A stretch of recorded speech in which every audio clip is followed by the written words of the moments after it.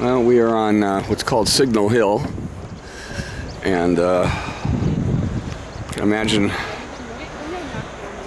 that ship out there. I'm not sure I'm able to even find it, or is it? There it is. Imagine in the old days when uh, a ship like that would have been a frigate.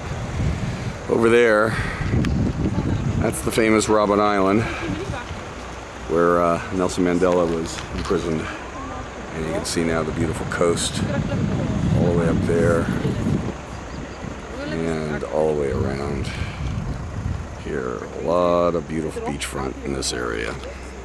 All right, this is one of their famous soccer stadiums for the World Cup.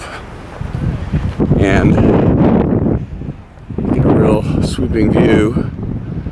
And then that is the waterfront, and that's our ship right there. It's a big development area all along there. Quite a pretty stadium. Seats 68,000 people. 2010 semifinal World Cup took place there. And again, that's Robben Island.